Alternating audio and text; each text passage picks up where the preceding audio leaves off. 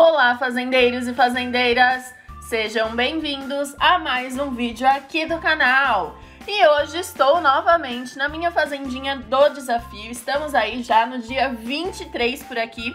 E no vídeo de hoje, basicamente, eu vou mostrar para vocês aí uma super rotina. Por quê? Tenho muitas produções aqui nas máquinas. Consequentemente, colhendo todas elas das máquinas, eu já vendo tudo na banca, vou garantindo ainda mais moedas e aí preciso, né, realmente produzir tudo de novo. Então eu já recolho animais, refaço rações. Realmente é um fluxo que vai acontecendo por aqui. Outra coisa super bacana também que tá rolando aí é a corrida semanal e eu tô participando nessa semana.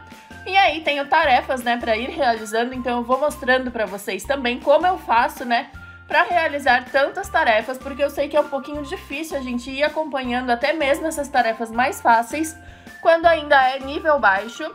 Temos também a nova temporada do Passe Rural, então tá super divertido, eu adoro o Passe Rural. Ainda mais aqui na minha fazenda nível baixo, porque eu ganho bastante XP, moedas, materiais de expansão nos prêmios, então realmente vale muito a pena. E é isso, vou mostrar tudinho pra vocês. Deixa o like nesse vídeo, se inscreve aqui no canal se você é novo por aqui e vem comigo. Bom, começando já, falando outra coisinha pra vocês, olha só nível 20 agora, quase no nível 21, então também com certeza vou subir de nível aí já junto com vocês.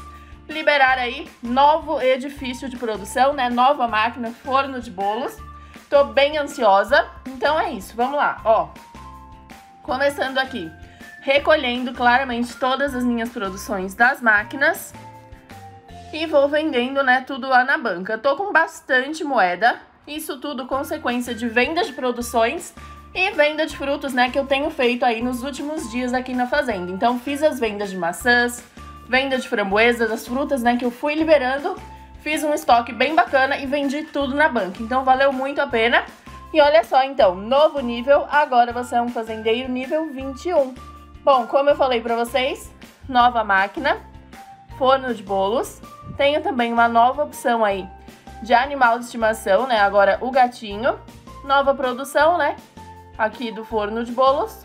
E outra de uma máquina que eu já tenho, a perneira de lã. Decorações que são super lindas. Inclusive, essa decoração aqui é bem interessante, já mostro o porquê para vocês. E mais campos. Então, liberando aí, né, várias coisinhas. Conforme eu subo de nível, minha loja já atualiza aqui com as novidades para que eu já veja, né, facilmente. Então aqui o novo gatinho, né, que eu consigo estar tá adquirindo com os vales, o que é super bacana. Por enquanto ainda tô com uma quantidade baixa de vales coloridos, inclusive vou mostrando aí pra vocês, olha só. Praticamente eu tenho um de cada, não tenho ainda o dourado. Tô acumulando aí realmente na intenção de ter os meus primeiros animaizinhos de estimação. Mas olha só que bacana aqui na loja. Eu tenho aí algumas opções de decorações que inclusive são super lindas. Essa cascata que eu falei pra vocês, que eu liberei agora ao subir de nível, eu consigo estar tá adquirindo só com vales coloridos. Então sem gastar moedas, sem gastar diamantes e é uma decoração incrível. Então também é meu foco aí, né, depois de ter os animaizinhos de estimação, ir comprando algumas decorações sem gastar minha moeda, meu diamante, somente aí com os vales que eu for acumulando. Bom, decorações por enquanto então não me interessam. Campos de plantação são sempre muito bem-vindos, porque eu consigo, né, plantar ainda mais ao mesmo tempo. Então é muito bom, inclusive agora ficou tudo certinho aqui. Nova máquina que é o forno de bolos, inclusive achei que ia ter um valor até mais alto, hein? Só 12 mil moedinhas aí. Tô achando barato em relação à quantidade de moedas que eu tô no momento, né? Quem viu aí, acompanhou, todos os dias na minha fazendinha do desafio, viu que teve um dia que eu não conseguia nem comprar e consertar o barco quando ele liberou porque eu tava sem moedas. Então já tô aí num avanço de conseguir comprar as coisas e ainda me sobraram algumas moedinhas. Então forno de bolos já vou colocar aqui. Tenho que estar tá esperando, né, para que ele fique pronto, seja consertado. Então basicamente aí 24 horas ainda. Vou deixar ele aí sem pressa alguma, nada de pensar em acelerar, nem nada disso. E é isso, vou continuando então agora aqui. Vou colocar já na minha banca minhas produções aí que eu recolhi das máquinas. Então, basicamente, eu tô vendendo tudo por aqui porque eu acho que vale muito mais a pena do que colocar, né, em entregas de caminhão ou entregas de barco, porque não tá rolando nenhum evento de dobro de moedas, nem dobro de XP. Então acaba que os pedidos não têm aí uma quantidade legal, né? Tanto de XP quanto de moedinhas mesmo. Então vendo tudo aqui na banca, sempre a preço máximo. Como eu faço realmente aí produções bem básicas, que independente do nível as pessoas vão utilizar, é super fácil de vender e rápido, tá? Então eu deixo por aqui. E olha só, vou mostrar pra vocês então, começando aqui, pela corrida. Corrida semanal, a gente tem diversos módulos aí, né? Temos daquela corrida do bingo, corrida misteriosa, a corrida mais comum, corrida com coelhinho, né? Que são aquelas ferraduras que a gente consegue alcançar conforme a gente completa tarefas em que o coelho está. Então também é super interessante porque além dos prêmios comuns dessas ferraduras, a gente tem a chance de ganhar ainda mais prêmios do coelho. Então realmente é super bacana. E aí, nessa corridinha da semana, tem super tarefas bem facinhas aqui, são cinco por dia, como vocês devem estar acompanhando aí também.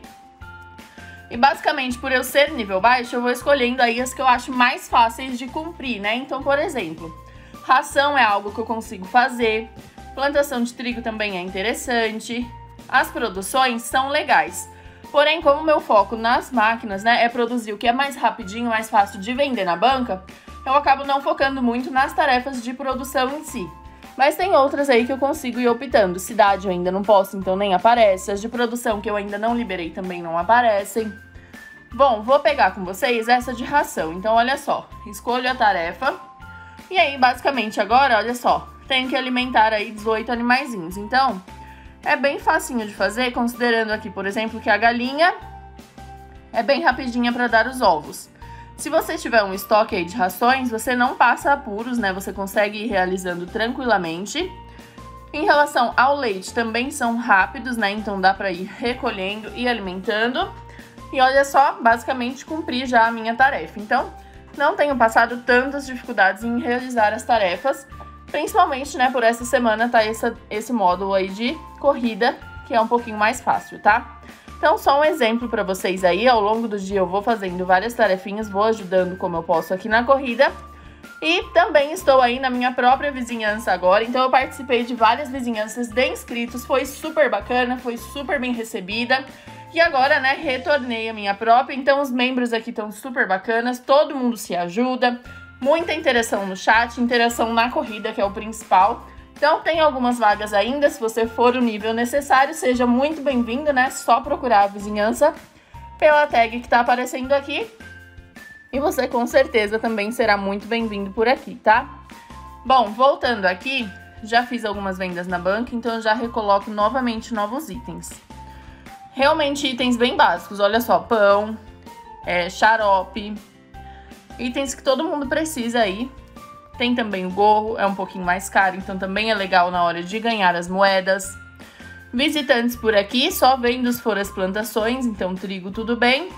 Essa torta nem que eu tivesse também não iria vender. E baú aí, ganhei dois painéis de madeira, muito bom porque é um material de expansão aqui do silo. Inclusive, minha capacidade está aí ainda em 225 do silo e 225 do celeiro. Então, basicamente, as duas estão andando igual, o que é bacana, assim, eu vou acompanhando. Não tô achando difícil, né, ter os materiais de expansão, conforme eu vou fazendo várias colheitas. Tenho agora o pedido da vizinhança, que também é interessante. E os prêmios da corrida, eu também vou garantir aí mais materiais. Além de tudo isso, tem também o passe rural que se iniciou. Então, olha só, tem a opção aí de ir completando os objetivos diários, que são bem facinhos, todo dia atualiza, então realmente são objetivos que vão ajudando, embora tenha uma pontuação bem pequenininha, né?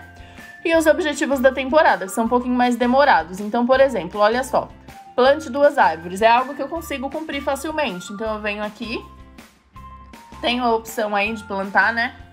Macieira, por exemplo. Então eu coloco aqui, e já cumpri aí um objetivo, ou seja, já vou ganhando uma pontuação, né? Esses três pontinhos. Plante milho, plante trigo, também são super fáceis de cumprir, desde que a gente tenha a plantação, né? E aí eu vou plantar aqui com vocês e vou mostrando então como eu vou cumprindo esses objetivos, olha só. Aqui o milho eu tô sem, então eu vou plantar o trigo. Planto todo esse lado e já cumpri também mais um objetivo. Inclusive, por eu estar aí sem o milho, né, eu já preciso correr no jornal e comprar pelo menos um pouquinho para mim ir plantando e na hora de colher consigo colher o dobro. Bom, meu jornal não tá abrindo ainda. cheio de bug por aqui, então espera um pouquinho. Mas olha só, basicamente já cumpri mais um objetivo e eu vou andando no caminho do passe. Inclusive já liberou o meu primeiro prêmio, que é esse XP. 630 pontos, ajuda muito, ainda mais eu que tô no nível baixo tô aí querendo cada vez mais subir de nível, né? Olha só, objetivos da temporada. Colha cana-de-açúcar é uma quantidade maior, né? São 100 canas-de-açúcar, mas a pontuação que eu vou garantir também é maior, são 50 pontos. Colete 15 itens da pipoqueira, também é algo fácil de fazer e alimente vacas também, porque é algo que a gente vai fazer aí na nossa rotina. Então, Super fácil de cumprir esses objetivos, inclusive vale muito a pena. Olha só a quantidade de prêmios que a gente tem, mesmo sem adquirir ao passe, né? Liberando somente os prêmios da parte de baixo. XP, moedas, ajudas no barco, mais XP, material de expansão. Então, realmente é muito interessante participar do passe.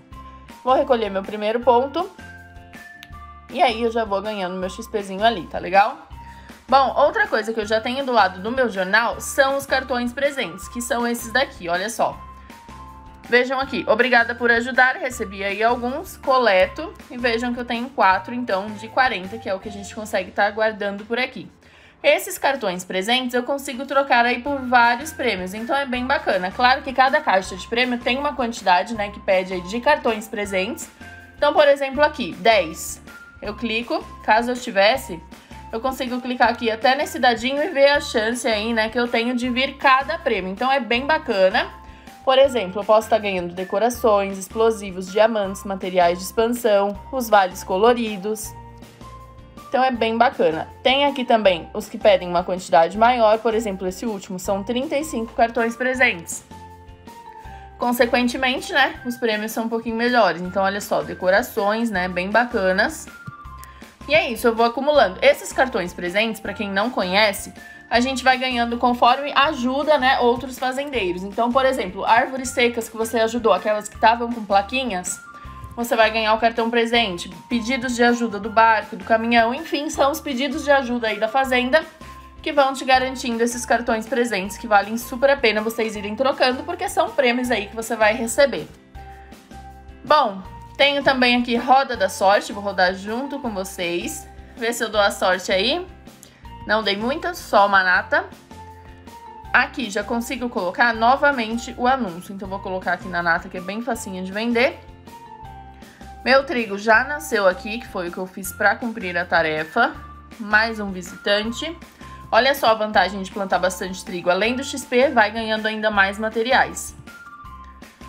Bom, basicamente aqui preciso plantar, né, o que eu tenho de menor quantidade. Então, eu sempre planto um pouquinho de cada trigo, algodão é algo que eu tenho usado bastante.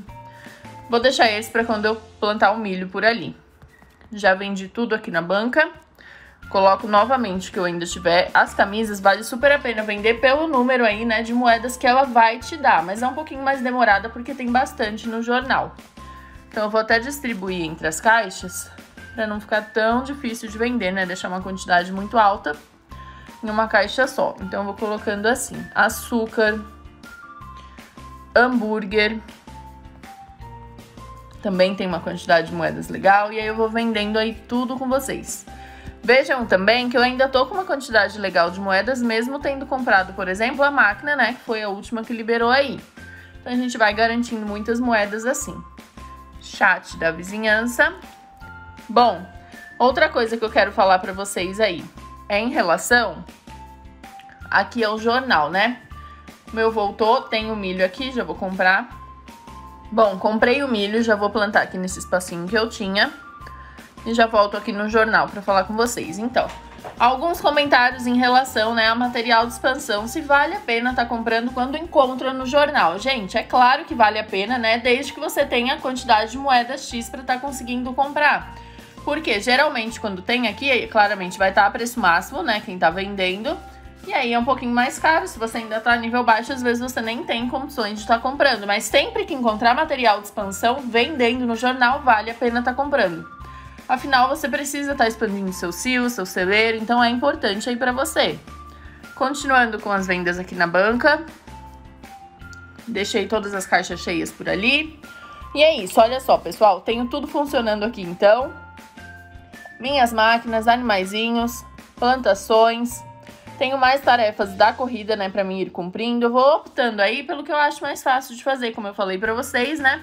De plantações é interessante, de ajuda também é rapidinho de fazer, ainda mais se os amigos aí, né, da vizinhança forem ajudando. Então dá pra ir fazendo tranquilamente, de alimentação de rações também. E é isso, vou fazendo. Aqui, já já eu cumpro mais um objetivo, esse de plantar o milho, né? Depois eu vou focando aí em plantar, por exemplo, cana de açúcar para mim colher. Animaizinhos eu vou fazendo ao longo do dia. Itens na pipoqueira também super facinho de fazer, então eu já vou até colocando aqui com vocês, olha só. Outros itens aí que eu tô acostumada, né, a produzir para vender também. Engenho. Churrasqueira. Gosto muito de fazer o bacon com ovos, então já vou alimentando os animaizinhos aqui e recolhendo mais produções. Vejam que realmente nunca falta nada aqui na minha fazenda pela organização. Então é dessa forma que vocês devem ir seguindo na fazenda de vocês. Forno de tortas, faço a mais rapidinha aí. Laticínios, gosto de fazer a nata, que é bem rapidinha e também fácil de vender. Padaria, gosto de fazer o pão de milho, já falei isso pra vocês. Ops, sem ovo, então faço um pão nesse. E máquina de costura eu uso às vezes aí, realmente, as, geralmente de, durante a noite, né? Já que eu produzo bastante itens mais simples durante o dia para vender. E aí, durante a noite, eu deixo o que é mais demoradinho aqui, tá legal? Bom, tudo funcionando por aqui. E é isso, pessoal. Mostrei pra vocês um pouquinho da rotina de como que ela tá agora, né? Já que eu tô participando da corrida e também do passe rural que se iniciou. E é isso, espero que vocês também estejam participando por aí se divertindo muito também e aproveitem, porque o passe rural realmente ele faz a diferença, principalmente para quem ainda é nível iniciante, né? Com tantos prêmios disponíveis aqui, só cumprindo objetivos bem facinhos também, tá legal? Bom, pessoal, deixa o like nesse vídeo, se inscreve aqui no canal se você é novo por aqui. Super beijo e até o próximo vídeo!